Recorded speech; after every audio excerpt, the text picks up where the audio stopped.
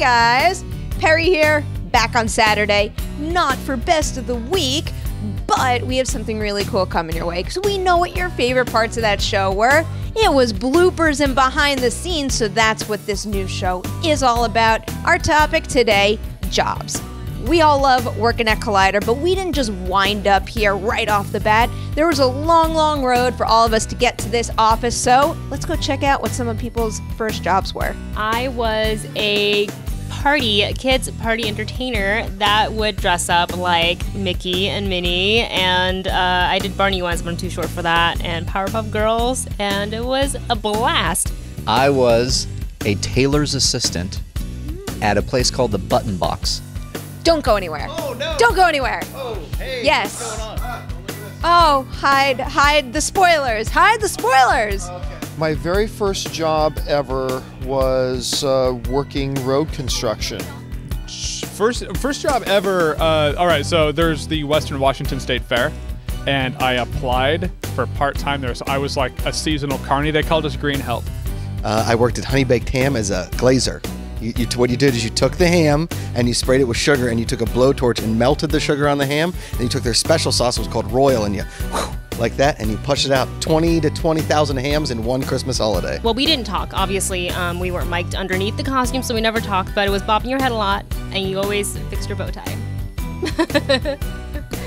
The key to being a good Mickey Mouse. You should all know that. And now we're going to switch gears and tell spooky stories in Dennis's office. The local like 17, 18, 19, 20 year olds who want a job can apply to work the games at the fair. So I worked the one where you have this ball and you had to throw it at the, the concrete milk uh, milk jug things.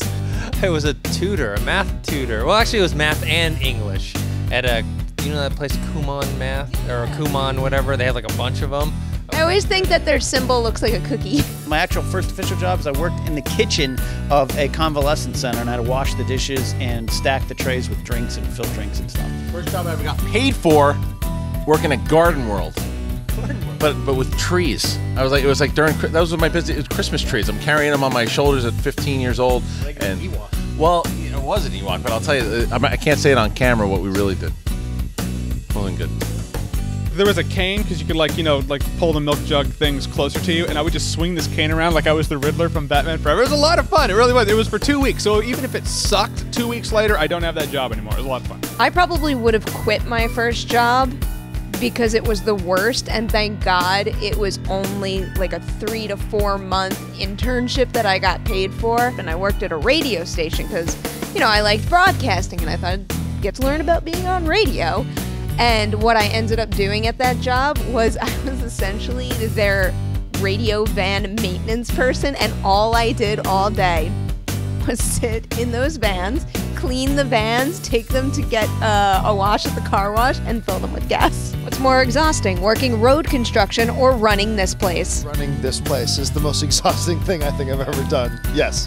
Uh, first job I ever had was working at a mini golf course, Mini Golf America, where I had the course record for a brief period. The par was 40. I shot a 31, and then the owner got drunk one night by himself and played and claims he got a 30. I've never seen it. Nobody else was there. People saw my 31. My very first job ever was actually not that horrible. I went on to have more horrible jobs, but my first job was actually teaching dance, which I love very much. The days off that I had from van duty, do you know what else I did? Uh, slept in the van. And Josh was actually one of my students, so you can you can see the technique. Uh, yeah, he they really paid off for him. He's he's taking it far. I had to wear their goofy duck costume and stand, stand in front of things. Do we have pictures? Do we have pictures that we can put up right now? You're putting me on the spot. I don't think I have a picture of myself in the duck costume, but I can at least direct people to a picture of someone in the duck costume. Back then, there was not enough cell phones. People didn't have smartphones and couldn't take pictures of everything. It's so true. But luckily, we have cell phones, we have smartphones, we have cameras, and we can capture all the behind the scene madness here and all the bloopers here. Oh, I said it. I said the magic word. You knew it was coming. Get ready. It's blooper time. Okay, my leather jacket twin, Jeremy Jahns. And it's a happy Thursday, Friday, happy days.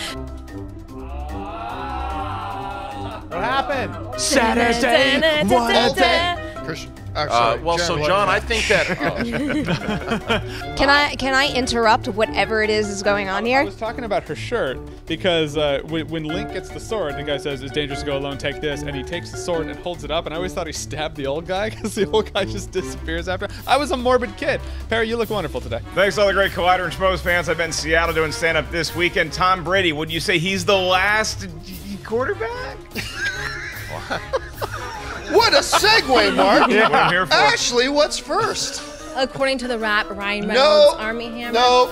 I don't have the new write-up. Obviously, I thought that that was I literally threw that know, ball. I I, put I it thought it right was in the corner. Woo! You guys know why else it's a great Monday? Because yesterday was a great Sunday and the Patriots won! We're going to the ship. We're going to the ship. Maku's excited. We're going to. I'm sorry, I didn't, I didn't, I didn't know I had a new Star Wars is Accusations ripping this flying family across apart. the studio. And here we go. Let's go with that first one. There's Mark Reilly. There he is. There's me. But there's no Twitter questions anywhere to be seen. Cody just dropped the ball. Cody, you blew Sorry. it. All right. Cody from the back. Let's give it to him. Hey, Point Cody, Cody. always Oh, coming in hot man. with those random things. Love it, Always Cody. Way to go. If you were wondering what we know about Justice League so far, look no further because Collider Clash fucking crashing biggest scribba We're talking about creepy food in the fridge. How do you feel about that? Creepy food in the fridge is a hallmark of the Ellis apartment, house, manor, whatever you want to call it. There's always a jar of mustard, there's always some pickles, and there's always three random cans of Coors Light. If you are wondering what we know about Justice League so far, look no further because Collider Clash Course. I can't fucking speak today. Bleep it. Bleep the whole thing. Okay. And you guys can't see this. Every time I mention La La Land, Perri smiles. Like you can't see that, but every time I Beaming. say, Yeah. yeah. and La La Land, she's like, oh, it's, it's like it, it hits you at your soul. I love that. I mean, gun fu is a great term. As Yeah. soon as they said it, my my male part just went like like this. You know what I'm saying? It's, it's We don't need to hear about that. I'm just saying. I'm just saying. This is what gets me don't. excited about these kinds of films. All right, uh, I'm gonna try and forget what you just said. So it could be something like that. But Newt is supporting, not lead. Good point. Thanks for squashing my my. What's in my fridge? That in, in the office right now? Your fridge. Your personal fridge at home. I love how he's like, you mean home in the office right now? wait, wait, wait. You have multiple fridges? Like How many people like Arrival? Raise your hand. This oh, is- ev- Love it. Why you hate that movie so much, man? He's a hater. I am so, so, so, so. Jo- I can't even describe how pumped I am that Arrival was nominated. Oh my god, I am so jacked that Arrival was nominated. There's just there's things about Sherlock that I love, and there's certain about things that I really don't, which makes me meet in the middle.